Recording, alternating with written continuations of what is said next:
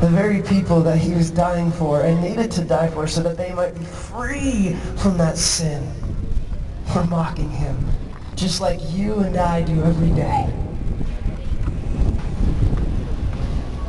It's a mockery to think that I can do anything in and of myself to save my own soul.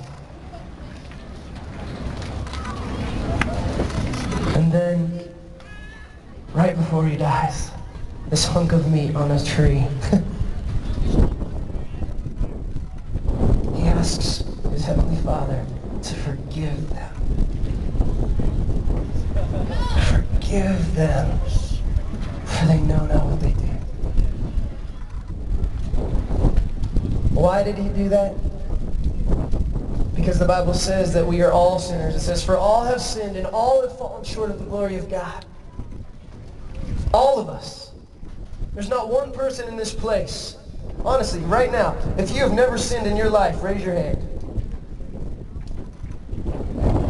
Wow, that was awesome. Actually, usually sometimes when I ask that, there's one silly guy trying to impress his girlfriend. He's like, and then I point him out and I'm like, you're a dork. Dump him right now.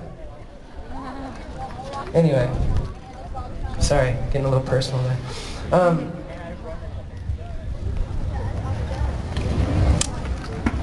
but we needed a perfect sacrifice to save us from our sin. And Jesus Christ was it.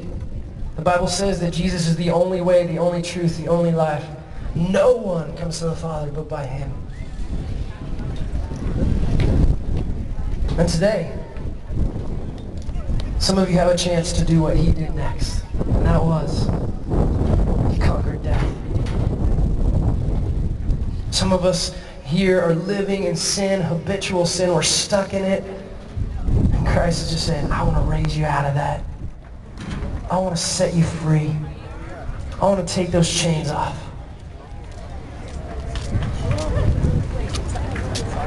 And if you're here today and you're one of those people, I'm just going to simply ask, if you want to believe in that, if you want to accept Christ as your personal Lord and Savior, you believe that he did that for you on the cross that day, and that he conquered death so that you could be free. If you want to believe that today, if today in, inside you you're listening to the things I'm saying, or you're watching any of the bands, maybe I, it's not even what I said. I'm just like the nail in the coffin, you know, and it's just like, man, everybody's talking about it, and I believe it, and I just need to respond to it.